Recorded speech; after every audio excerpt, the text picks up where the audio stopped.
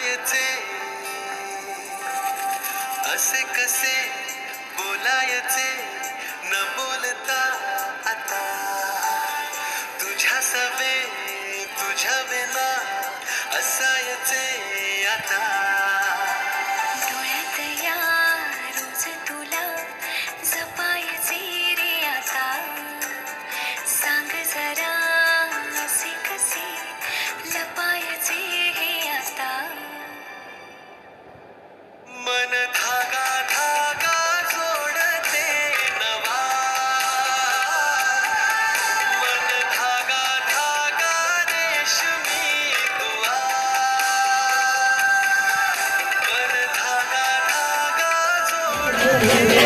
हर तुंहिंजक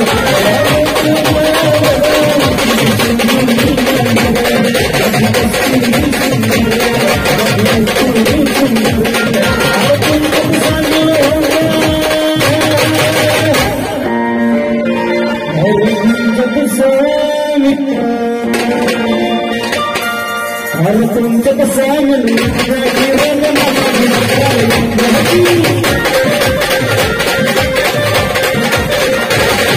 thank